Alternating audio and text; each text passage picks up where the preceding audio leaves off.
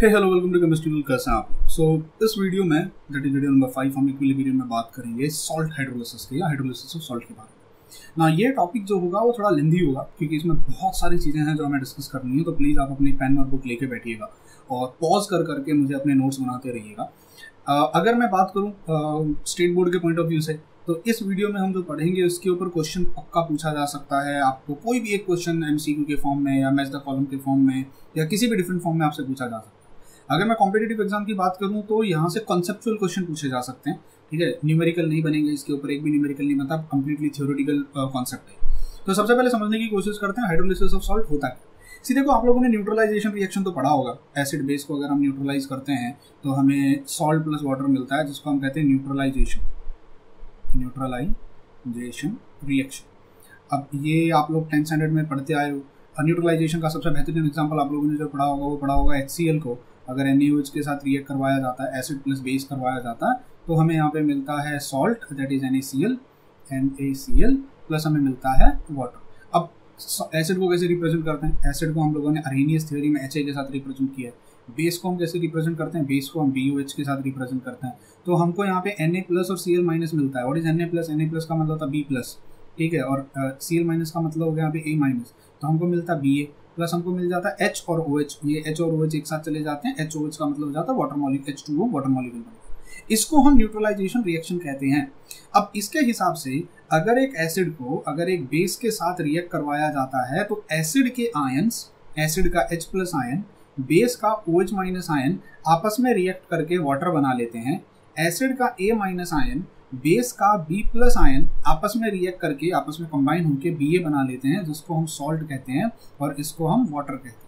अब neutralisation hydrolysis का मतलब होता है ये न्यूट्रलाइजेशन रिएक्शन है, जिसमें acid and base gives you salt plus water so neutralisation reaction में हम जो पढ़ते हैं, उसका एग्जैक्टली exactly अपोजिट होता है हाइड्रोलिसिस ऑफ़ सॉल्ट में सी अगर एसिड और बेस मिलके सॉल्ट प्लस वाटर बना सकते हैं तो क्या हमारे पास कभी ऐसा हो सकता है कि मेरे पास एक सॉल्ट हो मेरे पास वाटर हो, जिसको हम एच ओ एच के फॉर्म में लिखेंगे, क्या ये सॉल्ट और वाटर मिलके मुझे या तो एसिड या तो बेस मुझे दे सकते हैं क्या? एसिड या तो बेस या तो एसिड या तो बेस या दोनों। मतलब क्या मेरा सॉल्ट मेरे पानी के H प्लस या ओ OH माइनस आयन के साथ रिएक्ट जैसे यहाँ पर हमने देखा H प्लस और O H minus they will react to gives you water A A minus and B plus they will give you salt तो मेरे पास यहाँ पर है बी प्लस और मेरे पास है यहाँ पर ए माइनस जो कि सॉल्ट का है। और मेरे पास है यहाँ पे hydrogen bond O H H O H क्या ऐसी पॉसिबिलिटी है? यहाँ पे यहाँ पे एच का हो जाएगा पॉजिटिवली चार्ज और ओच हो जाएगा negatively charge is there any possibility कि एच और ए माइनस आपस में रिएक्ट कर जाएँ? इज़ देयर एनी पॉसिबिलिटी अगर सॉल्ट को पानी में डालने के बाद सॉल्ट को पानी में डालने के बाद अगर सॉल्ट का नेगेटिव अनायन पानी के H प्लस के साथ अगर रिएक्ट करता है तो हम कहते हैं हाइड्रोलिसिस हो गया और सॉल्ट का। सॉल्ट का हाइड्रोलिसिस होना यानी पानी ने सॉल्ट के साथ किस या तो कटायन के साथ या तो अनायन अब देखो बी प्लस है तो वो ऑब्वियसली किसके साथ रिएक्ट करेगा? वो ऑब्वियसली ओ एच माइनस के साथ रिएक्ट करेगा बिकॉज़ ये बी प्लस है और ये ओ एच माइनस है। अगर सॉल्ट का या तो कटायन या तो अनायन या दोनों पॉसिबिलिटी है कि दोनों रिएक्ट कर सकते हैं। या तो कटायन या तो अनायन या दोनों अगर पानी के H प्लस या ओ OH माइनस या दोनों के साथ अगर रिएक्ट कर लेता है, सोचो पॉसिबिलिटी सोचो, अगर अनायन ए माइनस अगर H प्लस के साथ रिएक्ट करता है तो मुझे मिलेगा एच ए और अगर मान लीजिए बी प्लस ओ एच के साथ रिएक्ट नहीं करता तो यहाँ पर बी प्लस रहेगा और ओ एच माइनस अलग रहेगा अगर ये दोनों रिएक्ट नहीं करते पहली पॉसिबिलिटी दूसरी पॉसिबिलिटी मेरे पास क्या हो सकती है? अगर B plus O H minus के साथ रिएक्ट कर ले तो मुझे मिल जाएगा B O H A minus वैसे का वैसा रहेगा और H प्लस अगर वैसे का वैसा रहेगा, ये दोनों आपस में अगर रिएक्ट ना करें या अगर B plus O H minus के साथ रिएक्ट कर ले तो बी ओ एच बना लेगा और अगर A माइनस एच प्लस के साथ रिएक्ट कर ले तो एच ए बना लेगा, यानी एसिड और बेस एक साथ मिलेगा। इस रिएक्शन को हम हाइड्रोलिसिस कहते हैं। तो हाइड्रोलिसिस में हमारे पास दो, तीन पॉसिबिलिटी होती है। या तो मेरा कटायन होगा जो ओ एच माइनस के साथ रिएक्ट करेगा तो मुझे मिलेगा बेस बेस या तो मेरा अनायन होगा सॉल्ट का जो H प्लस के साथ रिएक्ट करेगा तो मुझे क्या मिलेगा? एसिड या तो कटायन और अनायन दोनों रिएक्ट करेंगे तो मुझे एसिड और बेस दोनों एक साथ मिल जाएगा बेस भी मिलेगा और मुझे एसिड भी मिलेगा। अगर ये फिनोमिनॉन कहीं होते हुए दिखाई देता है तो हम कहेंगे, देखो भैया हाइड्रोलिसिस हो गया है। तो हाइड्रोलिसिस का डेफिनेशन क्या हो जाएगा? ये डेफिनेशन बोर्ड के पेपर में पूछा जा सकता है। एंट्रेंस में डेफिनेशन कभी नहीं आता, इतना याद रखना। तो आपको ये डेफिनेशन याद रखना। Hydrolysis of a salt is defined is the reaction in which cations or anions, or both ions of a salt react with ions of water produces acidity or alkalinity. यानी या तो वो एसिड बनाएँगे, या तो base बनाएँगे sometimes even neutral अगर acid और बेस दोनों, अगर वो रिएक्ट ना ही करें तो वो न्यूट्रल सोल्यूशन बनाएँगे. आई होप लॉजिक समझ में आया। आते हैं अब अगले टॉपिक पे। सर, कि सॉल्ट जो होता है, वो कितने टाइप का हो सकता है? बिकॉज़ हमको मालूम है, जो सॉल्ट बनता है, जो सॉल्ट बनेगा, वो एसिड और बेस के न्यूट्रलाइजेशन से बनेगा। अब हमने पढ़ा एसिड तो दो टाइप का होता है। स्ट्रॉन्ग एसिड और वीक एसिड हमने पढ़ा बेस दो टाइप का होता है strong base and weak base तो अगला हमारा टॉपिक होता है टाइप्स ऑफ़ सॉल्ट सी देखिए, अगर मैं यहाँ पे बात करूँ एसिड का तो एसिड हमारे पास दो हो सकते हैं. एक हो सकता है स्ट्रॉन्ग एसिड और एक हो सकता है वीक एसिड अगर मैं बात करूँ बेस का तो बेस हमारे पास दो हो सकते हैं. हो सकता है स्ट्रॉन्ग बेस हो जाए और हो सकता है वीक बेस हो जाए. Weak base strong base strong acid weak acid अब अगर सॉल्ट बनना होगा सॉल्ट बनेगा, हो सकता है स्ट्रॉन्ग एसिड और स्ट्रॉन्ग बेस आपस में रिएक्ट कर लें. तो मुझे जो सॉल्ट मिलेगा, जो मुझे सॉल्ट मिलेगा, वो हो सकता है स्ट्रॉन्ग एसिड और स्ट्रॉन्ग बेस के ऐड होने से मिल जाए, या हो सकता है स्ट्रॉन्ग एसिड वीक बेस एक एक एग्जांपल भी दूँगा आपको मैं थोड़ा पेशेंस रखिए। स्ट्रॉन्ग एसिड हो सकता है वीक बेस के साथ रिएक्ट करे और मुझे सॉल्ट मिल जाए। हो सकता है वीक एसिड स्ट्रॉन्ग के साथ चला जाए। So I have weak acid plus मेरे पास हो सकता है स्ट्रॉन्ग बेस हो। And fourth possibility is weak acid weak base के साथ रिएक्ट कर ले। I have weak acid plus weak base react अब अगर मुझे यहाँ पे एक एक एग्ज़ाम्पल लिखना होगा तो आपके टेक्स्ट बुक में यहाँ पे इन्होंने बहुत अच्छे से सारे चार एग्ज़ाम्पल दिए हुए हैं। Salt derive from strong acid and strong base example NACL तो मैं यहाँ डिटेल में लिखता हूँ कैसे। नंबर वन अगर मेरे को लिखना हो salt of strong acid plus strong base तो देखो एग्ज़ाम्पल के तौर पे एन क्यों पता है? क्योंकि एन ए कहाँ से आया होगा? एन से। सी एल कहाँ से आया होगा? H C.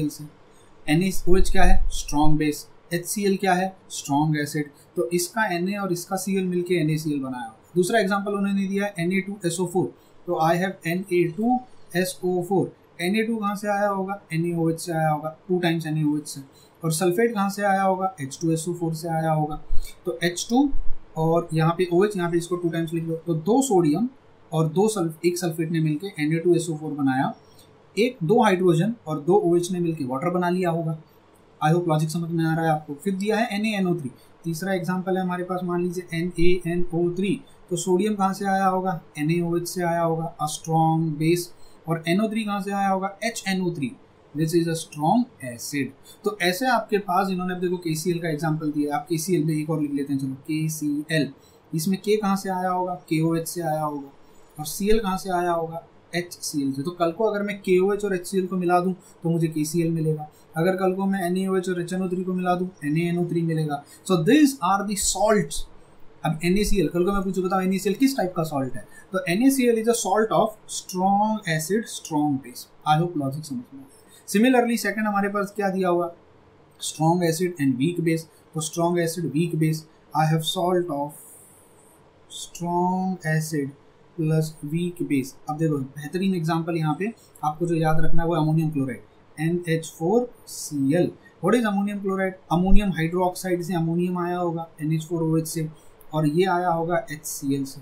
तो ये वीक बेस है, ये स्ट्रॉन्ग एसिड है। फिर है कॉपर सल्फेट अब कॉपर सल्फेट भी बहुत इंपॉर्टेंट है। कॉपर सल्फेट अब कॉपर कहाँ से आया होगा? कॉपर हाइड्रोक्साइड से which is a weak base sulphate कहाँ से आया होगा? H2SO4 से आया होगा which is a strong acid समझ में आ रहा है। फिर अमोनियम नाइट्रेट देखो एक ये भी ले लेते हैं, चलो ammonium nitrate N H four N O three ammonium nitrate ammonium कहाँ से आया होगा? अमोनियम हाइड्रोक्साइड क्योंकि वो वीक बोला ना वीक बेस तो अमोनियम हाइड्रोक्साइड वीक बेस होता है, याद रखना। और एनओ थ्री कहाँ से आया होगा? एच एन ओ थ्री से आया होगा। Is H N O three strong acid तीसरा एग्ज़ाम्पल ले लेते हैं। Let's take third example weak acid and strong base तो salt of salt of weak acid plus strong base बोलो।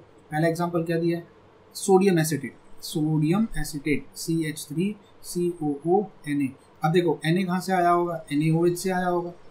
एन ए ओ एच से। और एसिडेट कहाँ से आया होगा? एसिटिक एसिड से C H three C O O H से आया होगा। अब ये वीक एसिड है, ये स्ट्रॉन्ग बेस है।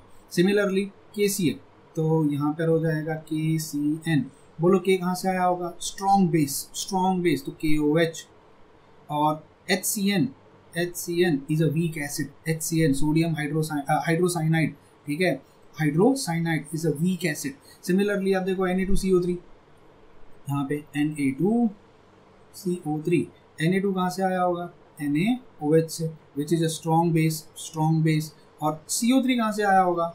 H two C O three से carbonic acid which is a weak acid similarly हमारा लास्ट होगा फोर्थ वन मैं यहाँ, यहीं पे कर रहा हूँ.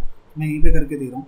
ये हमारे फोर्थ ये है देखो ये weak acid and weak base यानी इसमें जो एसिड से आया हुआ हिस्सा है वो और बेस से अब देखो याद रखना, अगर मेरे पास सॉल्ट बनेगा तो वो सॉल्ट कैसे, किस, कैसे बनेगा? बी ए बनेगा B A B positive A negative याद रखना इसमें जो पॉजिटिव इसको मैं ऐसे बना देता हूँ, इसको मैं ऐसे बना सकता हूँ, ऐसे, इन सब केसेस में बी ए बनेगा जिसपे बी पॉजिटिव ए नेगेटिव होगा, जो कटाइन वाला पार्ट कटाइन वाला हिस्सा होता है, वो बेस से आया होता है और अनाइन वाला जो हिस्सा होता है, वो एसिड से आया होता है। अब B for base A for acid ऐसे भी याद रख सकते बिकॉज़ हम लोगों ने क्या पढ़ा है, हमारा एसिड को रिप्रेजेंट करने का तरीका क्या होता है? एसिड को हम एच ए के साथ रिप्रेजेंट करते हैं। H for positive A for negative acid के साथ हाइड्रोजन होता है। ऐसे याद रखो। बेस को हम कैसे रिप्रेजेंट करते हैं? बेस को हम बी ओ एच के साथ रिप्रेजेंट करते हैं। बेस के साथ, ठीक है? बेस के साथ ओ एच रहता है नेगेटिव रहता है तो एसिड के साथ एच अब पॉजिटिव है, इसलिए वो आगे लिखा है, यहाँ बेस पॉजिटिव है, इसलिए आगे लिखा है। जब सॉल्ट बनेगा तो इन दोनों का रिएक्शन होता है, और इन दोनों का रिएक्शन हो गया वाटर बन जाता है। तो ये चीज़ें आपको याद रखनी है, ये बहुत इंपॉर्टेंट है फार्मेसी करोगे आप में से बहुत सारे लोग, आप मुझे याद रखोगे फार्मेसी करोगे तब, क्योंकि पूरे फार्मेसी में, मेरे फ्रेंड्स हैं, यकीन मानिए, मेरे फ्रेंड्स मेरे साथ बी करे उन्होंने दे डिड दिया B M S C pharma में करने के लिए वो यूएस यूनाइटेड स्टेट अमेरिका गए। वो वहाँ से मुझे फ़ोन कर करके मुझसे ये सारी चीज़ें पूछा करते थे, सीखा करते थे। मेरे दो दोस्त हैं, वो अभी उन्होंने कर लिया है एम फार्मा कर लिया है उन्होंने, और वो अच्छा खासा कहीं बोस्टन में या कोई न्यूयॉर्क में सेटल्ड है। एंड वो लोग भी मुझसे ये सारी चीज़ें डिस्कस किया करते थे, क्योंकि ये आप जो भी पढ़ रहे हो, बहुत बेसिक लेवल पे पढ़ रहे हो, बहुत बेसिक लेवल पे पढ़ रहे हो। भाई, इसका जेई और नीट का जे नीट में तो नहीं, पर जेई लेवल पे इतना एडवांस लेवल का होता है। मेरे पास ये किताब है, अगर चाहिए कभी फुर्सत मिलेगी तो देख लेना जिसको के एस वर्मा कहते हैं। आप एक के एस वर्मा का किताब निकाल के देख लेना this is for JEE advance ठीक है? ये देखो यहाँ लिखा हुआ जेई एडवांस ये किताब निकाल के देख लेना, इसके अंदर अगर कहीं पीडीएफ मिल जाए, कहीं किसी के पास दिख जाए, इसमें ionic equilibrium is one of the most difficult topic और ये सब में तो बहुत सारे हाइड्रोलिसिस कांस्टेंट एंड फलाना एंड धमकाना, दुनिया भर की चीज़ें इसमें दी होती हैं। तो आप जो भी पढ़ रहे हो ना ये ये बहुत बेसिक लेवल पे पढ़ रहे हो। आपको अभी सिर्फ़ ये याद रखना है, हम सॉल्ट पहचाने कैसे? हमको सॉल्ट कैसे पहचानना है? तो अभी जैसे अगर ये अमोनियम एसिटेट आपके सामने आ जाए तो मुझे पता है एसिटेट आया है C S three C O H से आया होगा, क्योंकि ये नेगेटिव पार्ट है, ये पॉजिटिव ये नेगेटिव पार्ट है तो इस पर एच लगेगा। ये पॉजिटिव पार्ट है अमोनियम पे पॉजिटिव पार्ट अमोनियम तो इस पर पॉजिटिव है तो ओ OH लगेगा, यानी यहाँ पे क्या लग जाएगा? अमोनियम तो आप में से कुछ लोग पूछेंगे, सर, आपको कैसे पता चला? कॉपर है तो कॉपर हाइड्रोक्साइड ही बना होगा। बड़ा सिंपल सा, दिमाग लगाओ। कॉपर पे पॉजिटिव चार्ज होता है प्लस टू और सल्फेट पे नेगेटिव अब अगर वो ऑलरेडी पॉजिटिव है तो उसके साथ ओ OH नेगेटिव ही तो लगेगा। क्योंकि अगर वो बी पॉजिटिव है तो उसके साथ नेगेटिव जो नेगेटिव कौन है? ओ OH लगेगा। अगर ये ऑलरेडी नेगेटिव माइनस टू है तो इसके साथ पॉजिटिव ही तो लगेगा। अब कैसे पता चला कि पोटेशियम क्लोराइड में यही दो सॉल्ट आएँगे? अब भाई के पे पॉजिटिव चार्ज है ना तो उसके साथ नेगेटिव ओ OH लगेगा। K O H C L पे नेगेटिव चार्ज है ना तो उसके साथ पॉजिटिव लगेगा H C L H simple is समझ में आई मेरी बात? अब सिमिलरली अभी कल को मैं पूछूँ अमोनियम साइनाइड बताओ। अमोनियम पे कौन सा चार्ज है? पॉजिटिव साइनाइड पे कौन सा चार्ज है? नेगेटिव अब अगर इसमें नेगेटिव है तो एसिड हुआ होगा एच अगर ये पॉजिटिव है तो बेस हुआ होगा एक प्लस वन है ना? तो अमोनियम हाइड्रो ऑक्साइड हुआ होगा। सो so, इस तरीके से आपको सबसे पहले तो सॉल्ट को पहचानना आना चाहिए कि उस सॉल्ट के अंदर जो पॉजिटिव स्पीशीज है जिसको हम कटायन कहते हैं बेस वो किस टाइप के बेस से बनी है? और अगर वो नेगेटिव स्पीशीज है, जिसको हम अनायन कहते हैं तो वो किस टाइप के एसिड से बनी है? अगर ये आइडेंटिफिकेशन करना आपको आ गया, और इतने ही टाइप के सॉल्ट है देखो इसमें से भी आपको याद क्या रखना है? आपको क्या क्या मेन याद रहना चाहिए? आपको एन के बारे में पता होना चाहिए। आपके पेपर में यही आएगा। यहाँ पे कॉपर सल्फेट के बारे में पता होना चाहिए पेपर में यही आएगा। यहाँ पर सोडियम एसिटेट के बारे में पता होना चाहिए पेपर में यही आएगा। और weak acid and weak base में अगर मैं बोलूँ, ये दो, दोनों याद रख लो, दोनों याद रख लो। इसमें एक और ऐड कर लेना, जिसको हम कहते हैं अमोनियम फ्लोराइड इसमें मैं ऐड कर रहा हूँ ammonium fluoride N H four fluoride तो ये पॉजिटिव है, ये नेगेटिव है तो ये किससे बना होगा? ये बना होगा अमोनियम हाइड्रोक्साइड से, और ये किससे बना होगा? ये HF से बना होगा. ये तीन आपको एक वीक में बन अब ammonium hydroxide weak base HF weak base weak acid ये दोनों अब आपको, ये तीन यहाँ पे याद रखना और यहाँ पे जो मैंने हाईलाइट किया है वो ये याद तो यहाँ तक टाइप ऑफ़ सॉल्ट समझ में आया? यहाँ तक आपको हाइड्रोलिसिस क्या होता है वो समझ में आया? अब आते हैं पहले टाइप के हाइड्रोलिसिस पे। अगर मान लीजिए कल को मैं salt of strong acid and strong base को पानी में डाल दूँ, यानी मान लीजिए मेरे पास एक कंटेनर हो और उस कंटेनर के अंदर मान लीजिए पानी प्रेजेंट हो और पानी ऑलरेडी कुछ हद तक डिसोसिएटेड रहता है, H प्लस के फॉर्म में और ओ OH माइनस के फॉर्म में। कल को अगर मैं इसके अंदर सॉल्ट ऐड करता हूँ, जो कि B प्लस और A माइनस से बना है, इसमें B प्लस किसी स्ट्रॉन्ग बेस से आया है और A माइनस किसी स्ट्रॉन्ग एसिड से आया है। ठीक है एग्ज़ाम्पल के तौर पे अगर मैं लेना चाहूँ, मान लीजिए मैं एन को कल को पानी में ऐड कर देता हूँ एच बॉन्ड ओ में ऐड कर देता हूँ। मुझे पता है N A plus N A plus N A जब पानी में जाएगा तो सबसे पहले वो डिसोसिएट हो जाएगा और वो क्या बना लेगा? एन ए प्लस बना लेगा। और सी एल क्योंकि सॉल्ट याद करो हमने पढ़ा था salt are completely strong electrolytes salt जब पानी में जाता है सिंस मैं लिख देता हूँ ये since salt are strong electrolyte strong electrolytes they will dissociate completely. They will dissociate. इसीलिए NaCl को Na plus C L minus के फॉर्म में लिखा जा सकता है। अब सवाल ये उठता है, क्या Na प्लस और C L minus H plus और ओ एच माइनस के साथ रिएक्ट करेगा? चलो मान लेते हैं कर लेता है। लेट अस अज्यूम कर लेता है।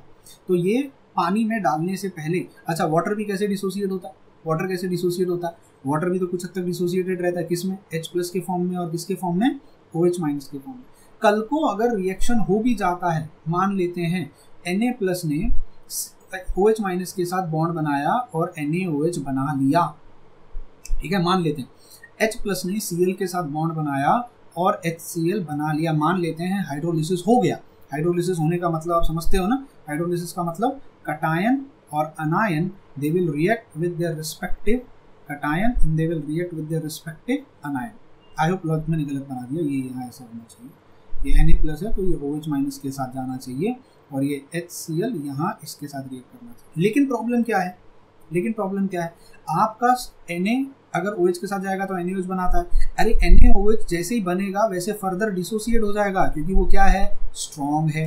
वो फिर से क्या बना देगा? एन ए प्लस बना देगा और ओ एच माइनस बना देगा। अगर एच सी एल बन भी जाता है, अगर एच और सी एल रिएक्ट कर भी लेते हैं और एच सी एल बना भी लेते हैं तो वो फर्दर फिर से डिसोसिएट हो जाएगा, किसमें एच प्लस में और सी एल माइनस तो एक तरीके से मैं यूँ कह सकता हूँ रिएक्ट करने से पहले कितने आयंस थे? चार आयंस थे। रिएक्ट करने के बाद भी चार ही आयंस है। मतलब आयंस आपस में रिएक्ट हुए ही नहीं है। अगर एच और सी एल मान लो रिएक्ट कर लेते हैं, हम मान लेते हैं हाइड्रोलिसिस हो गया एच सी एल का और एच सी एल बन गया। अरे लेकिन एच सी एल बनने के बाद तुरंत टूट जाएगा। वो स्टेबल नहीं है, वो स्ट्रॉन्ग इलेक्ट्रोलाइट है। वो जैसे ही बनेगा, वैसे ही एच और सी एल फिर से अलग हो जाएँगे। मतलब एक तरीके से मैं कह सकता हूँ बना ही नहीं। क्योंकि अगर बन गया तो फिर से टूट गया। वो स्टेबल एच रहा ही नहीं सोल्यूशन के अंदर। मतलब कल को अगर बी प्लस और ए माइनस को पानी में डाल दोगे तो यहाँ पे बी प्लस आएगा और यहाँ पे अगर ए माइनस आएगा, अगर बी ओ एच बन भी जाता है, वो फिर से टूट जाएगा। मतलब बी प्लस बी प्लस के फॉर्म में रहेगा O H minus O H minus के फॉर्म में रहेगा। यानी ये चार आयंस आपस में रिएक्ट नहीं करते हैं। यही कारण है कि आपका सोल्यूशन ध्यान से सुनना solution of of salt of strong acid and strong base are neutral वो न्यूट्रल होते हैं, क्योंकि ना तो बी प्लस ने ओ एच माइनस को खाया है, उसको रिएक्ट नहीं किया, और ना ही ए माइनस ने एच प्लस को रिएक्ट किया। तो सोल्यूशन के अंदर जो एच प्लस और ओ एच माइनस थे, वो वैसे के वैसे रहे। ना तो एच प्लस रिएक्ट कर रहा है, ना ओ एच माइनस रिएक्ट कर रहा है दोनों में से किसी के साथ भी कोई रिएक्ट नहीं कर रहा है। ऐसा सोल्यूशन जो होगा, वो न्यूट्रल होता है। याद करो, हम लोगों ने पढ़ा था प्योर वाटर में एच प्लस का concentration ten to the power minus seven molar होता है। ओ एच माइनस का concentration ten to the power minus seven molar होता है। अगर बी प्लस ओ एच के साथ रिएक्ट नहीं कर रहा है तो ओ एच कम नहीं हो रहा है। अगर ए माइनस एच प्लस के साथ रिएक्ट ही नहीं कर रहा है तो एच प्लस भी उतना ही है। तो दोनों और पानी में हमने पढ़ा एच प्लस और ओ एच माइनस का कॉन्सेंट्रेशन हमेशा सेम रहता है। अब अगर सेम रहेगा तो इसका पीएच कितना रहेगा? इसका पीएच हमेशा सेवन रहेगा। तो ऐसा सोल्यूशन न्यूट्रल होता है। अब यहीं से हमारा आता है अगला बहुत इंपॉर्टेंट नोट इसीलिए हम हम ह्यूमंस ऐसे ही सॉल्ट को खा सकते हैं जो सॉल्ट स्ट्रॉन्ग एसिड और स्ट्रॉन्ग बेस का बना। क्योंकि हमारे यहाँ पे पीएच थोड़ी सी बेसिक होती है। अगर मैं एक ऐसा सॉल्ट खा लूँ, जो पेट में जाके अगर मेरा पीएच हिला दे तो वो सॉल्ट मेरे लिए डेंजरस है। हम ऐसा सॉल्ट खाते हैं, जो पानी के साथ रिएक्ट ही नहीं करता, जो पानी को हाइड्रोलाइज ही नहीं करता। तो ऐसा नमक हम खाते इसीलिए हमारा टेबल सॉल्ट हमारा कंज्यूमेबल सॉल्ट होता है। इसीलिए hence hence we only consume hence we only consume salt of strong acid and strong base बेहतरीन एग्ज़ाम्पल उसका हो जाएगा एन जिसको टेबल सॉल्ट भी कहा जाता है। आई होप लॉजिक यहाँ तक समझ में आया तो पहला हमारा सॉल्ट खत्म हो अब आते हैं दूसरे सॉल्ट पे, जिसको कहा जाएगा salt of strong acid and weak base अब देखो, इस टाइप के सॉल्ट में जो कि स्ट्रॉन्ग एसिड का बना है और वीक बेस का बना है। बेहतरीन एग्ज़ाम्पल ले लेते हैं। मान लीजिए अगर मेरे पास बी प्लस है और मेरे पास ए माइनस है, मुझे पता है ये जो बेस है ना बेस ये वीक हिस्से से आया हुआ है। और जो ये ना ए माइनस ये आया हुआ है स्ट्रॉन्ग से, ठीक है? और इसको आप डाल रहे हो पानी में। इसको आप डाल रहे हो इस तरीके से पानी में। और पानी के अंदर ऑलरेडी ऑलरेडी एक मेरे पास प्रेजेंट है ओ एच माइनस और मेरे पास प्रेजेंट है एच प्लस और याद रखना H plus O minus equal quantity में प्रेजेंट होता है। बेहतरीन एग्ज़ाम्पल अगर मैं लेना चाहूँ वीक बेस का और स्ट्रॉन्ग एसिड का, मैं अमोनियम क्लोराइड ले सकता हूँ N H four C L ले सकता हूँ इस तरीके से। अब अमोनियम क्लोराइड को जब आप पानी में डालोगे अमोनियम क्लोराइड को थोड़ा ऊपर लिख देता हूँ अमोनियम क्लोराइड जिसमें अमोनियम कहाँ से आया होगा? अमोनियम हाइड्रोक्साइड से। और क्लोरीन कहाँ से आया होगा? एच से। अमोनियम क्लोराइड जब पानी में जाएगा तो ये बना देगा अमोनियम प्लस और बनाएगा सी माइनस पानी में ऑलरेडी क्या प्रेजेंट होता है? पानी में ऑलरेडी हमारे पास प्रेजेंट है एच प्लस और हमारे पास प्रेजेंट है ओ एच माइनस जो कि इक्वल क्वांटिटी में प्रेजेंट है। अब प्रॉब्लम कहाँ से स्टार्ट होती है? अमोनियम रिएक्ट करना चाहेगा ओ एच माइनस के साथ। और एच सी एल रिएक्ट करना एच सी एल रिएक्ट करना चाहेगा एच प्लस के साथ रिएक्ट करना चाहेगा हाइड्रोलिसिस करना चाहेगा। अब यहाँ पर मान लेते हैं अगर, एक मिनट के लिए अमोनियम हाइड्रोक्साइड बन भी जाता है। अमोनियम हाइड्रोक्साइड बन भी जाता है। और अगर मान लीजिए एच सी एल भी बन जाता है एच सी एल भी बन जाता है, अब यहाँ आती है प्रॉब्लम क्या प्रॉब्लम आती है? देखो एच सी एल जो बना है रिएक्शन होने से पहले कितने आयंस थे? रिएक्शन होने से पहले चार आयंस थे। एक, दो, तीन, चार। रिएक्शन होने के बाद अगर आप देखो अमोनियम हाइड्रोक्साइड जो बना है, वो वीक है, वो वीक है, वो जल्दी टूटेगा नहीं, वो जल्दी टूटने वाला नहीं है। एच जो होगा, वो टूट जाएगा और वो किसमें कन्वर्ट हो जाएगा? H प्लस में और सीएल माइनस में। क्या आप एक तरीके से यूँ कह सकते हो? अमोनियम ने तो ओ OH के साथ रिएक्ट किया और अमोनियम हाइड्रोक्साइड बनाया जो कि वीक है।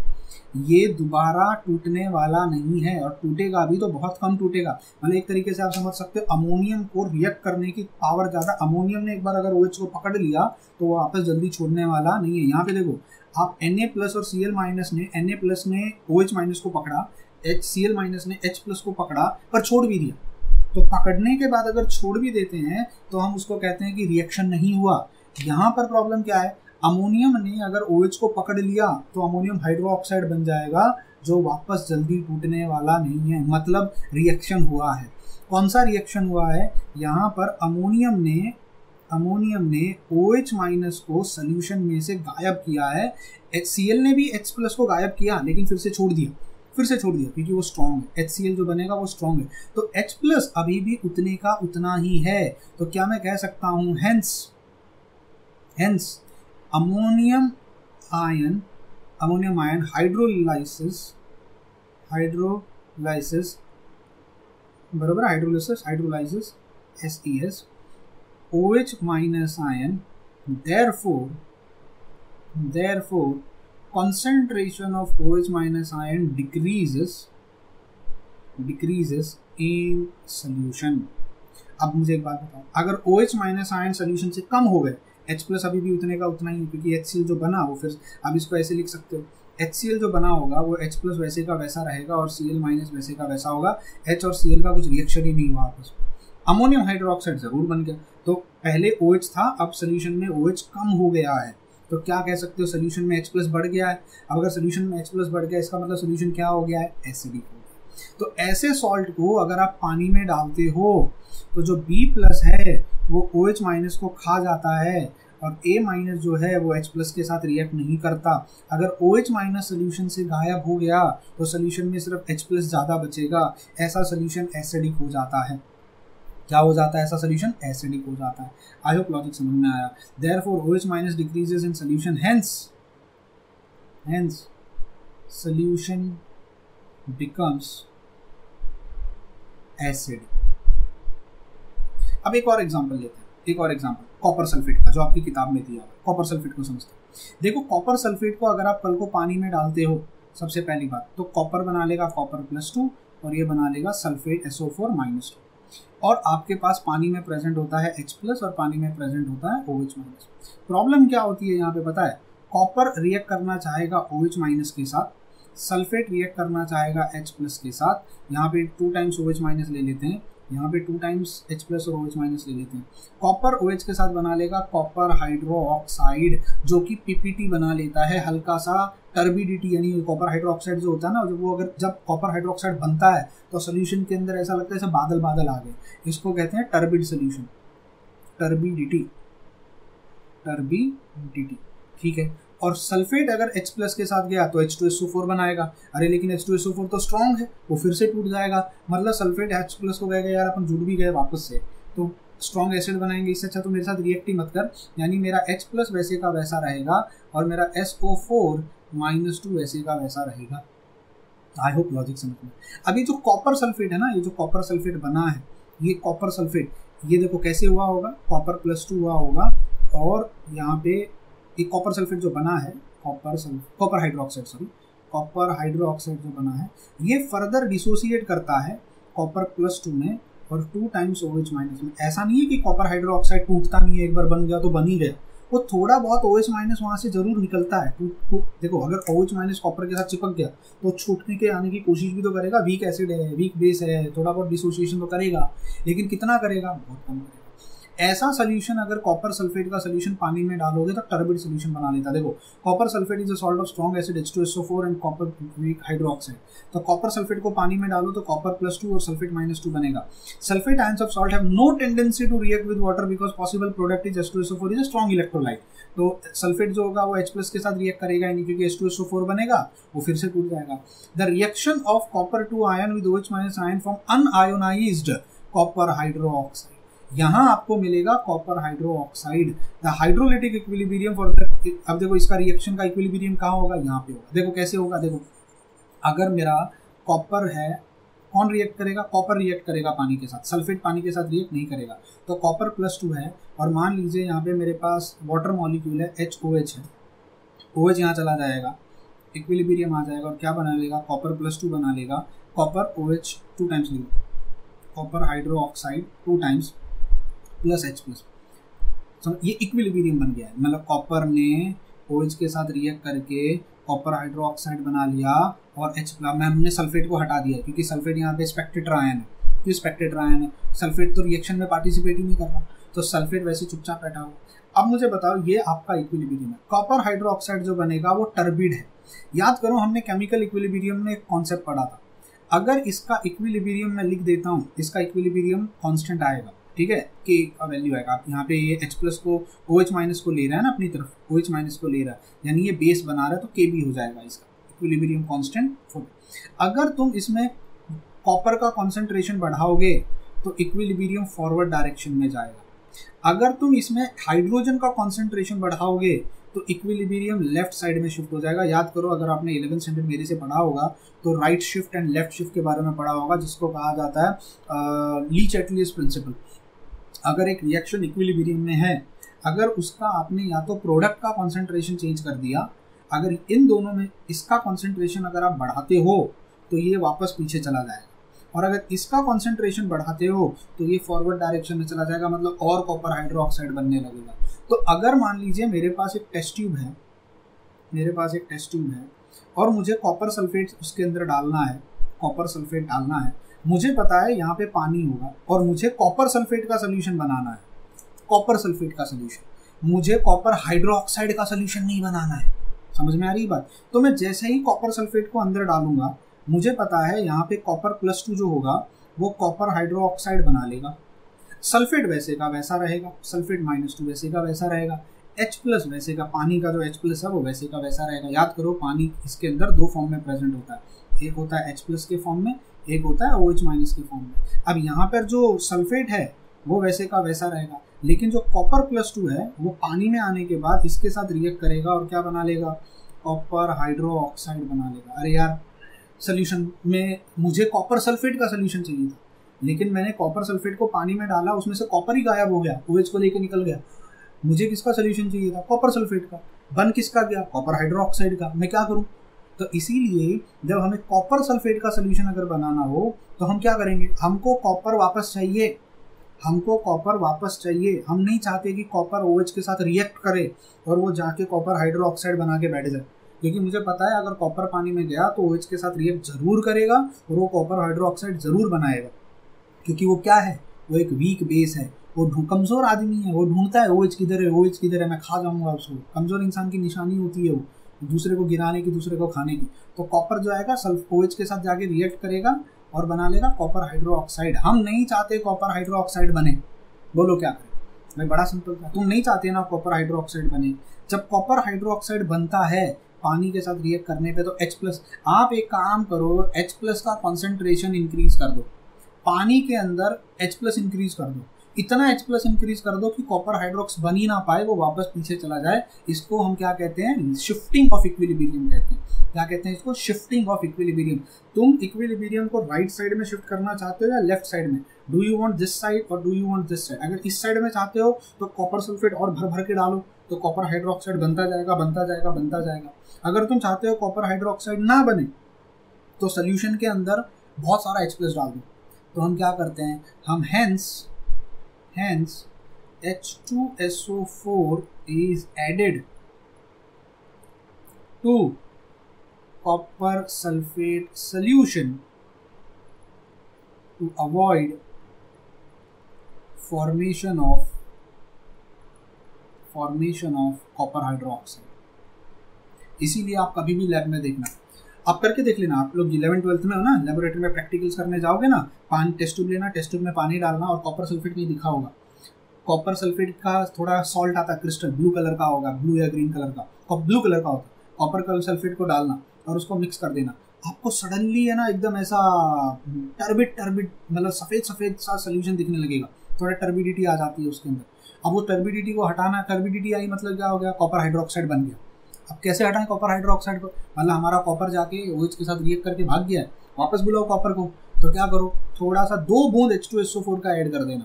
जैसे ही तुम दो बूंद बूंद copper H two S O four का ऐड करोगे ना, वो वापस कॉपर हाइड्रोक्साइड में कॉपर ओ को छोड़ के फिर से रिटर्न आ जाएगा। और फिर से मुझे कॉपर मिल जाएगा।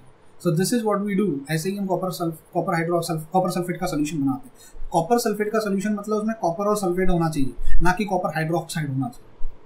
Formation of sparingly soluble copper hydroxide by hydrolysis make the solution copper sulfate turbid. If H2SO4 that is S3O plus ions are added, the hydrolytic equilibrium shifts to left.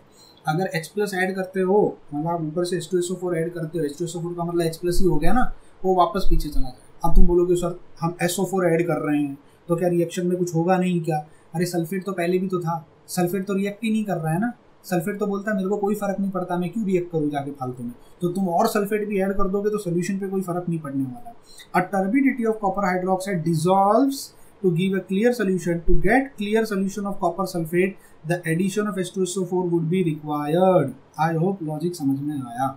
ठीक है, ये गवर्नमेंट टेक्स्ट ये जाके पढ़ लियो ना, जाके अपने college के बच्चों को सिखाओ, जाओ।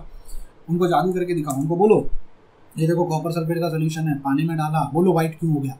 टर्बिड क्यों हो गया? टर्बिड मतलब थोड़ा वाइट वाइट हो गया। क्यों? दूध जैसा कलर क्यों? फिर उसमें S two S four add करके दिखाना। बोलो, देखो क्लियर हो गया। क्यों हुआ? तो उनको फिर बाद में बैठाना और बोलना, देखो, ये लॉजिक है, योगी सर ने सिखाया, ऐसा ऐसा होता है। आई होप समझ में आते हैं अगले सॉल्ट पे that is salt number three salt of weak acid and strong base अब मैं यहाँ पे डायरेक्ट डिस्कस करता हूँ। मान लीजिए मेरे पास एक बी ए है बी प्लस और ए माइनस है, और सोल्यूशन में आप उसको ऐड कर रहे हो इस तरीके से, और सोल्यूशन में ऑलरेडी मेरे पास एच प्लस और O H minus ion present है। यहाँ पर ये है मेरे पास बी प्लस और ये है मेरे पास ए माइनस अब बोलो कौन रिएक्ट करने की कोशिश करेगा? जो वीक होगा। स्ट्रॉन्ग बेस है ना? अगर बेस बनेगा तो स्ट्रॉन्ग बनेगा तो यहाँ पे ये बी प्लस यहाँ आएगा। बी प्लस यहाँ आएगा और ए माइनस यहाँ आएगा। अगर कल को बी प्लस ओ एच के साथ रिएक्ट कर भी ले तो स्ट्रॉन्ग बेस बनाएगा तो बी प्लस रिएक्ट ही नहीं करेगा। वीक एसिड है। अगर ए माइनस एच प्लस को खा गया तो दोबारा जल्दी प्रोड्यूस नहीं करेगा क्योंकि वो वीक है। तो अगर मेरे पास for example strong S strong base और वीक एसिड वीक एसिड मतलब एसिड अमोनियम एसिड है। C H three C O O N ठीक है? ये पानी में जाने पर क्या प्रोड्यूस करता है? ये प्रोड्यूस करता है C H three C O minus और प्रोड्यूस करेगा एन ए प्लस क्योंकि वो सॉल्ट है। सॉल्ट है तो डिसोसिएट तो ज़रूर होगा। पानी में कौन प्रेजेंट है? पानी में प्रेजेंट है एच और ओ एच मुझे बताओ रिएक्शन किसके किसके बीच में होगा? क्या सोडियम ओ एच को रिएक्ट करेगा? सोडियम ओ एच को देखते बोलेगा, भाई, उधर ही रहे। तू आएगा, फिर मेरे साथ एन ओ एच बनाएगा और फिर मुझे छोड़ के चला जाएगा। इससे अच्छा तू आई मत, तू उधर ही बैठा। रिएक्ट कौन करेगा? रिएक्ट यहाँ पर करेगा एसिटेट आयन ये जो एसिटेट आयन यहाँ पर है ना, ये जाएगा और यहाँ से जाके एच प्लस को बोलेगा, तू आ जा।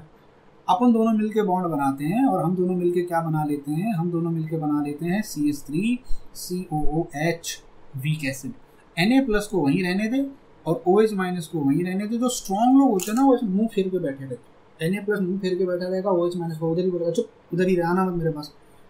रिएक्ट नहीं करना। जो वीक लोग होते हैं ना, वो फटाफट बुलाते हैं, आओ जल्दी आओ, हमको रिएक्ट करना। ये एसिड बन गया। अब मुझे बताओ सोल्यूशन में से कौन गायब हुआ? सोल्यूशन में से H प्लस गायब हो गया। रिएक्शन कैसे लिखोगे? ऐसे लिख सकते हैं। C H three C O O minus ने पानी के साथ रिएक्ट किया और रिएक्ट करने के बाद मुझे क्या बना कर दे दिया? C H three C O O H और मुझे बना के दे दिया ओ एच माइनस क्या बचा सोल्यूशन में? सोल्यूशन में ओ एच माइनस बच गया। यानी इसने इसको खा के एसिड बना लिया और इसने इसको नहीं खाया।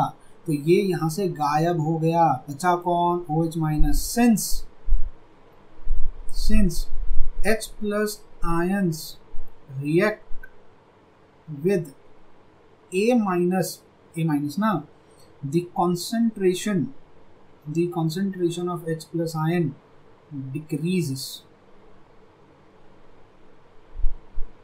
decrease hence अगर एच प्लस आयन कम हो गया तो ओ एच माइनस बता hence the solution. Hence the solution will be basic. और solution क्या हो जाएगा? Solution basic हो जाएगा। लॉजिक समझ में आया? अब एक एग्जांपल ले लेते हैं। यहाँ पे देखो इन्होंने सेम एग्जांपल दिया। सेम एग्जांपल दिया इन्होंने। देखो acetate sodium acetate acetate ion और एन प्लस बनेगा। ठीक है? फिर वाटर आएगा। इसको छोड़े, ये रिएक्शन फालतू में दिया एक्स्ट्रा यहाँ देखो। एसिडेट आयन पानी के साथ रिएक्ट करेगा और क्या बना लेगा? एसिटिक एसिड और O H minus ion solution में क्या बचा? सोल्यूशन में ओ एच माइनस आयन बचा। अभी लंबा थ्योरी पढ़ने की कोई ज़रूरत नहीं है ठीक है? तो thus the hydrolytic equilibrium for the इसका इक्विलिब्रियम किधर हो गया? देखो ये तो मैंने पहले लिख दिया। ये आप चाहो तो ऐसे लिख सकते हैं। Equilibrium As a result, OH minus ion produced, the solution become basic. The solution of is therefore basic. ये सोल्यूशन बेसिक होता है। तो कल को अगर आप सोडियम एसिटेट खा लो आपकी बॉडी में चला जाए तो उसका जो एसिटेट आयन वाला पार्ट है वो आपकी बॉडी के एच प्लस को सबको खा जाएगा और आपका सोडियम जो होगा वो चुपचाप बैठा रहेगा ओ एच माइनस को कुछ नहीं करेगा। अरे, आपके बॉडी से एच प्लस गायब हो गया, आपका बॉडी के अंदर बेसिसिटी बढ़ जाएगी, आप कोमा में चले जाओगे। इसलिए ऐसे टाइप के सॉल्ट्स को हम खाते नहीं हैं। आई होप ये पूरा गवर्नमेंट टेक्स्ट में जो लिखा हुआ है, ये आपको समझ में आया होगा। ये मैंने यहाँ पे आपको इजीली समझा दिया है, कितने सिंपल तरीके से। ठीक है? देखो, मेरा काम है गवर्नमेंट टेक्स्ट में लिखी हुई कॉम्प्लिकेटेड चीज़ों को सिंपल तरीके से समझाना। ठीक है? ना कि वहाँ का एक एक लाइन का मतलब आपको दिखाते हो। आपको ये कॉन्सेप्ट समझ में आ गया ये कॉन्सेप्ट क्या है आपको क्लियरली समझा? अगर कल को मैं अभी आपको एक सॉल्ट दे दूँगा और आपका आप, आपको समझ में आपको बताऊँगा ट्रिक बताऊँगा लास्ट में कैसे पहचानना है। वो ट्रिक आपको समझ में आनी चाहिए। वो क्या ट्रिक होने वाली है ठीक है? अब आते हैं लास्ट हमारा। लास्ट है salt of weak acid and weak base अब ये सबसे खतरनाक सॉल्ट है। ट्रस्ट मी सबसे खतरनाक सॉल्ट है क्योंकि इसके अंदर एक तरफ़ वीक एसिड है और इसके अंदर एक तरफ़ वीक बेस है। पहले मैं अपने हिसाब से आपको थ्योरी समझाता हूँ और फिर हम गवर्नमेंट टेक्स्ट बुक में लिखी हुई जो चीज़ें हैं ना, चार तीन चीज़ें हैं, इनके ऊपर जाते हैं। पहले अपने तरीके से। आपके पास बी प्लस है, आपके पास ए माइनस और दोनों वीक दोनों वीक कल को अगर आप इनको कंटेनर के अंदर डाल देते हो, पानी के अंदर डाल भी देते हो इस तरीके से, यहाँ पर आपके पास प्रेजेंट है एच प्लस ये ओ एच माइनस प्रेजेंट है, यहाँ एच प्लस प्रेजेंट अब यहाँ पर दोनों दोनों B plus B O H minus को खा के बी ओ एच बनाने की कोशिश करेगा और A minus B H plus को खा के एच ए बनाने की कोशिश करेगा। अब यहाँ फ़र्क इस बात पे पड़ेगा सोल्यूशन से एच प्लस भी गायब हो रहा है। सोल्यूशन से ओ एच माइनस भी गायब हो रहा है। तो क्या इक्वल क्वांटिटी में गायब हो रहा है? अगर दोनों इक्वल क्वांटिटी में गायब हो रहा है तो सोल्यूशन न्यूट्रल होगा। अगर ए माइनस ज़्यादा एसिड बना रहा है यानी एच प्लस ज़्यादा गायब हो रहा है तो सोल्यूशन बेसिक हो जाएगा। और अगर बी प्लस ज़्यादा ओ एच माइनस को खा रहा है तो बी एच बना रहा है तो सोल्यूशन एसिडिक हो जाएगा। तो या तो सोल्यूशन बेसिक होगा, या तो एसिडिक होगा, या तो न्यूट्रल होगा। देखो, समझने की कोशिश करना, इससे पहले हमने ये वाला लिया। स्ट्रॉन्ग एसिड स्ट्रॉन्ग बेस इसमें इसमें हम इसको ऐसे समझ सकते थे, मेरे पास था ये container B plus O H minus को नहीं खाता है। ए माइनस एच प्लस को नहीं खाता है तो एच और ओ एच वैसे के वैसा रहता है सोल्यूशन न्यूट्रल बनता है। इस वाले में हमने पढ़ा, मेरे पास एक तरफ़ बी प्लस है, एक तरफ़ ए माइनस है B plus O H minus को खा लेता है और बना लेता है बी ओ एच लेकिन ए माइनस एच प्लस को नहीं खाता है। सोल्यूशन में एच प्लस बच जाता है, इसीलिए सोल्यूशन क्या हो जाता है? एसिड क्योंकि जो वीक वाला पार्ट होता है ना, वो खाता यही ट्रिक है। अगर वीक वाला हिस्सा है, अगर वीक वाला बी प्लस है बी प्लस अगर वीक है तो यानी बेस अगर वीक है तो वो ओ एच को खा जाएगा सोल्यूशन एसिडिक हो जाएगा। अभी मैं आपको ट्रिक लास्ट में सिखाऊँगा कैसे करते हैं। आपको समझ में कुछ तो अंदाज़ा आ ही गया होगा। इस वाले में हमने क्या देखा? ए माइनस है। बी प्लस ओ एच को नहीं खाता है, क्योंकि वो स्ट्रॉन्ग है बेस स्ट्रॉन्ग है, नहीं खाएगा ओ एच को। पर ए माइनस एसिड वीक है एच प्लस को खा जाता है सोल्यूशन में ओ एच बचता है, इसलिए सोल्यूशन बेसिक हो जाता है। लेकिन यहाँ पर ये भी वीक है और ये भी वीक है। दोनों खाएँगे। अब सवाल सिर्फ़ इतना है कितना खाएँगे? कितना खाएँगे? तो क्या मैं यहाँ पे ऐसे समझ सकता हूँ? So, इस चीज़ को मैं ऐसे लिख सकता हूँ कि मान लीजिए मेरे पास बी प्लस है और मेरे पास ए माइनस है। दोनों आपस में एक दूसरे के साथ पानी के साथ रिएक्ट करेंगे। पानी में मेरे पास एच प्रेजेंट होता है पानी में मेरे पास ओ एच माइनस प्रेजेंट होता है। B plus O H minus को लेगा और बना लेगा बी ओ एच ठीक है? और एच प्लस ए माइनस के साथ जाएगा और बना लेगा एस अब क्वेश्चन ये है, भाई दोनों रिएक्ट कर रहे हैं। एच प्लस और ओ एच माइनस दोनों रिएक्ट कर रहे हैं और एसिड और बेस दोनों बन रहा है। सोल्यूशन एसिडिक होगा बेसिक होगा या न्यूट्रल होगा डिपेंड किस पे करेगा। तो देखो, यहाँ पर डिपेंड करेगा वो equilibrium constant of base and acid जो एसिड बना है, वो फर्दर डिसोसिएट तो हो रहा होगा। हो रहा होगा कि नहीं हो रहा होगा? मेरा जो एसिड बना है, ये एच ए ये फर्दर डिसोसिएशन दिखाएगा। एच ए फर्दर डिसोसिएट करेगा। एच प्लस के फॉर्म में और ए माइनस के फॉर्म में, क्योंकि वीक है, भले ही वो वीक है, बनने के बाद ऐसा कभी नहीं होता कि वो डिसोसिएट ही नहीं करेगा। वो अगर ten molecules of A ten H plus को लेके टेन एसिड बना रहे हैं तो दस में से कुछ तो डिसोसिएट हुआ होगा ना, वापस बैक आया होगा ना, पीछे आया होगा मतलब इसको ये रिएक्शन पीछे कुछ तो हद तक पीछे आया होगा। ठीक है ठीक है? अगर बेस बन रहा है बी ओ एच तो मेरा बी ओ एच भी तो कुछ हद तक डिसोसिएट हुआ होगा ना। उसने बी प्लस और वापस से ओ एच माइनस बनाया ही होगा। तो यहाँ पर हम ऐसे लिख सकते हैं H plus plus O H minus अब क्वेश्चन ये उठता है बी ओ एच ज़्यादा रिवर्स आता है या एसिड ज़्यादा रिटर्न आता है? ध्यान से सुनना। अगर एसिड जो बन गया, अगर वो जल्दी डिसोसिएट हो जाता है तो एच प्लस ज़्यादा रिटर्न आएगा। और अगर बेस ज़्यादा डिसोसिएट हो जाता है बनने के बाद तो बी प्लस ज़्यादा आएगा। देखो फिर से समझा रहा हूँ। B plus O H minus को लेकर ज़रूर जाएगा। और बना लेगा एच लेकिन बी जो बना है, वो फिर से टूटने की कोशिश करेगा, वापस, क्योंकि वीक है ना, ऐसा तो नहीं होगा कि बन गया तो बन ही गया, वापस कभी नहीं आएगा, थोड़ा बहुत तो टूटेगा, वापस डिसोसिएट होगा। अगर एसिड ए माइनस अगर एच ए के साथ जाके एच प्लस बनाता है तो वो वापस से रिटर्न आने की कोशिश करेगा। क्वेश्चन अब यहाँ पे है एच ए ज़्यादा रिटर्न आता है या बी ओ एच ज़्यादा रिटर्न आता है? अब इसको समझेंगे कैसे? इसको समझने के लिए ऐसे करते हैं। हमको इतना मालूम है सोल्यूशन के अंदर सोल्यूशन के अंदर बी तो बन गया है। और ये फर्दर डिसोसिएट होना चाहेगा, ये बनाना चाहेगा बी प्लस और ये बनाना चाहेगा ओ एच माइनस इसका इक्विलिब्रियम कुछ हुआ होगा, जिसको हम कहेंगे K B that is concentration of B plus into concentration of O H minus ion divided by concentration of B O H K B और एसिड जो बना होगा एच ए वो भी फर्दर डिसोसिएट करने की कोशिश करेगा। वो भी क्या बनाना चाहेगा एच प्लस और क्या बनाना चाहेगा ए माइनस इसको हम कहेंगे K A equilibrium constant for acid इसका concentration of H plus into concentration of A minus divided by concentration of H अब सोचो अगर मैं कल को आपसे कंडीशन दूँ कि भाई दोनों ने रिएक्शन किया, दोनों ने एसिड और बेस बनाया, क्योंकि दोनों वीक थे। उसके बाद मैं आपसे कहूँ, जो बेस बना है ना कंडीशन नंबर वन उसमें K A is greater than K B बोलो क्या हुआ होगा? के ग्रेटर है मतलब के ज़्यादा है। मतलब ये रिएक्शन में जो एसिड बना है, वो फर्दर और टूट गया है। यानी बनने के बाद वो वापस ज़्यादा चला जाता है। यानी फिर से H प्लस आयन ज़्यादा बना होगा। मतलब मेरे सोल्यूशन में H प्लस आयन और ओ एच माइनस आयन दोनों को खाया गया, पर H प्लस आयन ज़्यादा वापस आ गया रिवर्स आ गया। तो ऐसा सोल्यूशन जो होगा, वो क्या हो जाएगा? ऐसा सोल्यूशन एसिडिक हो जाएगा। क्योंकि गए दोनों थे, लेकिन रिटर्न H प्लस ज़्यादा आया। क्योंकि के ए इज़ ग्रेटर के ए का ज़्यादा होना K A is directly proportional to concentration of H plus देखो। और K B is directly proportional to concentration of O H minus ion देखो। डायरेक्ट रिलेशन अगर मैं कल को मैं तुमसे कहता हूँ के B is greater than K ए इसका मतलब क्या हुआ? बने एसिड और बेस दोनों थे, लेकिन बेस ज़्यादा डिसोसिएट हो गया। एसिड ज़्यादा डिसोसिएट नहीं हो पाया। ऐसे सोल्यूशन में मेरा सोल्यूशन क्या बन जाएगा? मुझे बेसिक सोल्यूशन मिलेगा। आई बात समझ में? यहाँ पर कौन सा सोल्यूशन मिलेगा? एसिडिक सोल्यूशन मिलेगा। आपके गवर्नमेंट टेक्स्ट बुक में बहुत इसको किचकट किया हुआ है तो मैं सिंपल तरीके से इसको समझाने की कोशिश कर रहा हूँ, बस इसको समझ लेना तीसरी कंडीशन आपके पास क्या आई सर, दोनों बने और दोनों इक्वल क्वांटिटी में वापस रिटर्न चले गए। यानी बेस भी वापस डिसोसिएट हो गया एसिड भी वापस डिसोसिएट हो गया के ए और के बी का वैल्यू सेम है तो जितना ओ एच माइनस वापस आया उतना ही एच प्लस भी वापस आया। तो हम इसको कहेंगे अगर K A is equal to K B तो ये स्पेशल कंडीशन है जिसमें मेरा सोल्यूशन फिर से क्या हो जाएगा? न्यूट्रल सोल्यूशन बन जाएगा। ये तीन कंडीशंस आपको याद रखनी है। गवर्नमेंट टेक्स्ट बुक में देखिए यहाँ पर दिया हुआ आई बात समझ में? देखो B A B plus A minus बनाएगा। B plus A minus B O H and H A बनाएगा। अब दोनों में से कौन बैक ज़्यादा जाता है? अगर बेस ज़्यादा डिसोसिएट होता है, वापस आ जाता है तो ओ एच माइनस फ्री हो जाएगा। और अगर एसिड ज़्यादा पीछे आ जाता है तो एच प्लस फ्री हो जाएगा। दोनों में से कौन रिटर्न ज़्यादा आता है? यानी के ए ज़्यादा है एसिड का रिटर्न आने का टेंडेंसी ज़्यादा है, या के बी ज़्यादा है बेस का रिटर्न आने का टेंडेंसी क्या है, उस पर डिपेंड करेगा कि आपका सोल्यूशन एसिडिक बनेगा या बेसिक क्लियर है यहाँ तक? अब आते हैं तीनों कंडीशंस को देख लेते हैं। एक, दो, तीन। तीनों कंडीशंस का एक एक एग्ज़ाम्पल ले लेते हैं। एक कंडीशन जिसमें के ए ज़्यादा है, एक जिसमें के बी ज़्यादा है।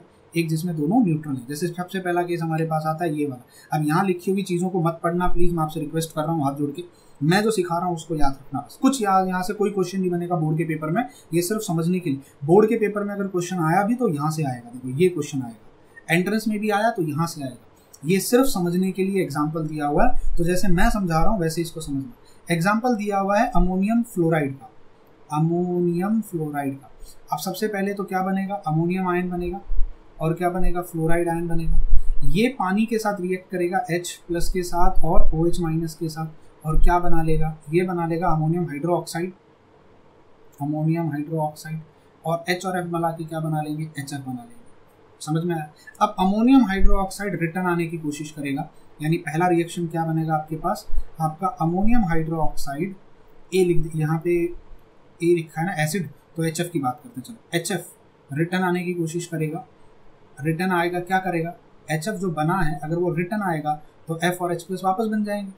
तो मुझे क्या मिलेगा? एच प्लस वापस मिलेगा और एफ़ माइनस वापस मिलेगा। इसका इक्विलिब्रियम कांस्टेंट को हम के ए कहेंगे और इसका के ए का वैल्यू देखो ब्रैकेट में दिया है seven point two seven point two into ten raise to minus four है। ठीक है। दूसरा बेस की बात करते हैं बी फॉर बेस बेस कौन है? Ammonium hydroxide ammonium hydroxide अगर बना है तो वो रिटर्न आने की कोशिश करेगा, लेकिन पूरा नहीं आएगा। पूरा कभी भी नहीं आता। इवन देखो, यहाँ पर भी जो हम पढ़ रहे थे, ये देखो, यहाँ पर भी। ये एसिटिक एसिड बनता है। ऐसा नहीं है कि एसिटिक एसिड एक बार बन गया तो वो रिटर्न नहीं आना चाहता। देखो, मैंने इक्विलिब्रियम डाला है। वो एसिटिक एसिड रिटर्न ज़रूर आना चाहता है, वापस से एच प्लस और एसिडेट पर वो पूरा नहीं आ पाता। कुछ मॉलिक्यूल वापस आते हैं, और ज़्यादातर वो अनडिसोसिएटेड रह जाते हैं, यानी एच प्लस गायब हो जाता है रिटर्न आ नहीं पाता। अगर एन बन भी जाएगा तो वापस से रिटर्न आ जाएगा, फिर से वो डिसोसिएट हो जाएगा, अगर एन बन गया तो। समझ में आई बात? तो यहाँ पर अब मेरे पास क्या होगा? अमोनियम हाइड्रोक्साइड आपको क्या प्रोड्यूस करके देगा? ये प्रोड्यूस करके देगा अमोनियम आयन और आपको प्रोड्यूस करके देगा ओ एच माइनस आयन इसका के बी का वैल्यू निकल के आएगा, देखो one point eight into ten raise to minus five one point eight into ten raise to minus five जिसको आप लिख सकते हो zero point one eight into ten raise to minus four अब देखो, ये भी माइनस फोर में है, ये भी माइनस फोर में अब मुझे सोच समझ के बताना क्या जात सोल्यूशन एसिडिक होगा या बेसिक होगा प्लीज़ यहाँ मत देखना, यहाँ देख के बताओ मुझे। देखो, यहाँ मुझे क्लियरली समझ में आ रहा है सर कि ए का वैल्यू ज़्यादा है is greater than K B का वैल्यू मतलब मेरा H F will dissociate more than more than ammonium hydroxide अब अगर एच एफ़ ज़्यादा डिसोसिएट होगा, बनने के बाद वो ज़्यादा रिटर्न चला जाएगा। मतलब एच प्लस आयन ज़्यादा वापस आ जाएगा सोल्यूशन में। एच प्लस और ओ OH दोनों गए थे। लेकिन वापस कौन ज़्यादा आ जाएगा? एच प्लस ज़्यादा आ जाएगा। Hence hence the solution hence the solution will be acidic देखो यहाँ पे लिखो। समझ में? प्लीज़ ये एक्सप्लेनेशन मत लेना। आई डोंट नो ये एक्सप्लेनेशन मुझे थोड़ा हजम नहीं हुआ चीज़ों को लेकर तो मैंने जो आपको ये एक्सप्लेनेशन दिया है, ये ज़्यादा बेटर एक्सप्लेनेशन है। इसको समझने की कोशिश करना, ये बेस्ट आई होप यहाँ पर आपको लॉजिक समझ में आए। सेकंड एग्ज़ाम्पल फिर से हम यहाँ पे आते हैं। इस एग्ज़ाम्पल को छोड़ देना जो मैं सिखा रहा हूँ। वही एग्ज़ाम्पल लूँगा, अपने तरीके से सिखा रहा हूँ। अगला एग्ज़ाम्पल क्या है?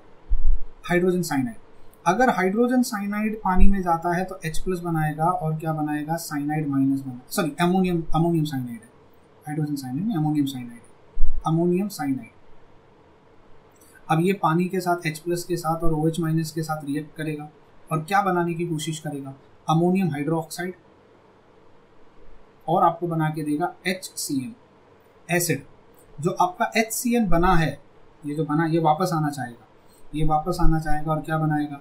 एच प्लस बनाएगा और साइनाइड माइनस बनाएगा। इसका इक्विलिब्रियम कांस्टेंट के का value four into ten raise to minus ten है। Four into ten raise to minus ten base जो कि अमोनियम हाइड्रोक्साइड अमोनियम हाइड्रोक्साइड ये भी रिटर्न आना चाहेगा रिटर्न आना चाहेगा, और वापस से अमोनियम और OH बनाना चाहेगा। वापस से अमोनियम आयन बनाना चाहेगा, और वापस से OH माइनस आयन बनाना चाहेगा। के बी का वैल्यू देखो 1.8 के बी का value 1.8 point eight into ten raise to minus five है। भाई देखो, बड़ी सिंपल सी बात है। माइनस टेन बहुत छोटा नंबर होता है माइनस फाइव बहुत बड़ा नंबर होता है। कहना इसे के B is greater than K ए के बी ज़्यादा है। मतलब अमोनियम हाइड्रो ऑक्साइड जो बनेगा, वो वापस ज़्यादा रिटर्न आएगा, यानी सोल्यूशन में ओ OH माइनस वापस आ जाएँगे, और अगर ओ OH माइनस वापस आ गए hence since since K B is greater than K A concentration of OH minus ion will be greater than concentration of H plus ion in solution समझ में आया? गए थे और वापस वो ज़्यादा आ जाएगा। Hence hence solution will be basic तो अगर के भी ज़्यादा है अब देखो ऐसे समझ लो अगर के भी ज़्यादा है मतलब जा, बेस ज़्यादा डिसोसिएट हो रहा है। अगर बेस ज़्यादा डिसोसिएट हो रहा है इसका मतलब ओ ज़्यादा बन के आ रहा है वापस। ओ गया था वापस रिटर्न आ गया। लास्ट एग्ज़ाम्पल लेते हैं थर्ड वाला मैं इसको फिर से ड्रॉप कर रहा हूँ आप मेरा पढ़ा हुआ देख लो। आपके पास है C H three C O O ammonium देखो, ये वीडियो अगर नहीं समझ में आया होगा ना तो दोबारा देख लेना। मैं मानता हूँ, थोड़ा कॉम्प्लिकेटेड हो सकता है। मैंने बहुत सिंप्लीफाई करने की कोशिश की है। गवर्नमेंट टेक्स्ट बुक के वर्ड्स में सिर्फ़ एग्जाम्पल्स और नंबर ले रहा हूँ एक्सप्लेनेशन में मेरा दे रहा हूँ। ठीक है? तो अगर नहीं समझ में आ रहा होगा तो दोबारा देख लेना। पर प्लीज़ डरना मत इस चीज़ को लेकर ये क्या बनाएगा? ये बनाएगा C S three C O minus और बनाएगा अमोनियम आयन ठीक है? पानी के साथ रिएक्ट करेगा H plus O H minus के साथ। और आपको बना के देगा सोडियम एसिटिक एसिड और बना के देगा ammonium hydroxide N H four O H अब प्रॉब्लम क्या है? एसिड जो एसिड बना है, ये ये वापस डिसोसिएट करेगा। तो C H three C O H फिर से डिसोसिएट करने की कोशिश करेगा और C H three C O minus बनाएगा और एच प्लस बनाएगा। इसका के ए का वैल्यू क्योंकि वो एसिड का इक्विलिब्रियम है के ए का value 1.8 point eight into ten two minus five ठीक है? बेस जो बना है, ये भी वापस जाना चाहेगा। बेस जो बनेगा अमोनियम हाइड्रोक्साइड वो भी फर्दर डिसोसिएट करने की कोशिश करेगा और वापस से अमोनियम आयन और ओ OH माइनस आयन बनाने की कोशिश करेगा। के बी का वैल्यू कितना दिया हुआ है? के बी का वैल्यू दिया है सेम अरे सेम है। 1.8 point eight into ten raise to minus मतलब दोनों अमोनियम और acid H plus O H को रिएक्ट करके एसिड और बेस बनाएँगे, लेकिन दोनों फिर इक्वल क्वांटिटी में पूरे वापस नहीं आएँगे। देखो, अगर पूरे वापस आ रहे होते तो हमको सिंगल एरो डाल देना पड़ता। नहीं, पूरे वापस नहीं आ रहे। पूरे कभी वापस नहीं आएँगे। कुछ आयन वापस आ जाएँगे और कुछ वहीं के वहीं एसिड और बेस बन के रह जाएँगे। पर जितना एसिड वापस आएगा, उतना ही बेस भी वापस आएगा। इससे क्या हो जाएगा? K A is equal to K B इसका मतलब concentration of H plus ion is equal to concentration of O H minus ion मतलब मेरा जो सोल्यूशन बनेगा, उसमें एसिड बेस बनेगा। इस सॉल्ट को अगर आप पानी में डालोगे तो एसिड और बेस बनेगा, लेकिन सोल्यूशन फिर भी न्यूट्रल रहेगा। Solution will be will be neutral क्योंकि एच प्लस और ओ OH का कॉन्सेंट्रेशन सेम है। आई होप लंबा वीडियो था, बहुत कुछ पढ़ा हमने। ये वीडियो मैं यूट्यूब पे भी डालने वाला हूँ। आप अपने फ्रेंड्स के साथ इसको शेयर कर सकते हो। जिन बच्चों को अगर हाइड्रोलिसिस में तकलीफ़ हो रही हो पढ़ने में, आप उनके साथ शेयर कर सकते हो। उनको थोड़ी सी हेल्प हो जाएगी। एंटायर कॉन्सेप्ट ऑफ़ हाइड्रोलिसिस मैंने यहाँ पे समझा दिया है। ऐप पर तो रहेगा ही रहेगा। हमारा एम का जो कोर्स चल रहा है उसमें तो इसको मैं डालूँगा ही डालूँगा, लेकिन ये मैं यूट्यूब पे भी फ्री में डाल रहा हूँ, ताकि स्टूडेंट्स जिनको जिनको हाइड्रोलिसिस नहीं समझ में आता है, जो यहाँ वहाँ भटक रहे होते हैं, जिनको एक्चुअल कंटेंट समझने में इंटरेस्ट है, ना कि सिर्फ़ रटने में इंटरेस्ट है। देखो, मैं नाइन्टी परसेंट बच्चे ना ये रट के आएँगे देखने ये रट के आएँगे। उनको नहीं समझ में आएगा ये कैसे हुआ, क्योंकि गवर्नमेंट टेक्स्ट बुक मैंने बहुत किचकट किया हुआ है। सो प्लीज़ आप इस सब चीज़ों को एक बार दोबारा अच्छे से रिवाइज कर लेना, अपने फ्रेंड्स के साथ शेयर कर लेना, और जो बच्चे ऐप पर पढ़ रहे हैं प्लीज़ अच्छे से नोट्स बना लेना इवन तो आपको पीडीएफ वगैरह मैं आपको दे दूँगा, वहाँ से अपने आप नोट्स बना सकते हैं, ठीक है? सो यहाँ पर आपका चैप्टर ऑलमोस्ट आधे से ज़्यादा खत्म हो गया। अब आपको सिर्फ़ मिलेंगे दो और वीडियो दो और वीडियो आएँगे। एक जिसमें कॉमन आयन इफ़ेक्ट और बफर सोल्यूशन सिखाऊँगा मैं, और एक जिसमें सोल्यूबिलिटी सोल्यूबिलिटी प्रोडक्ट और कंडीशन फॉर प्रेसिपिटेशन सिखाऊँगा। तो दो वीडियो के साथ आपका पूरा जो चैप्टर है आने इक्विलिब्रियम हमारे ऐप पे जो कोर्स चल रहा है, उसमें आपका एक पूरा चैप्टर कंप्लीट हो जाएगा। ठीक है? तो मिलते हैं अगले वीडियो में that is video number six जहाँ पे हम बात करेंगे कॉमन आइन इफ़ेक्ट के बारे में एंड बफर सोल्यूशन के बारे में। टिल देन बाय करें गॉड ब्लेस यू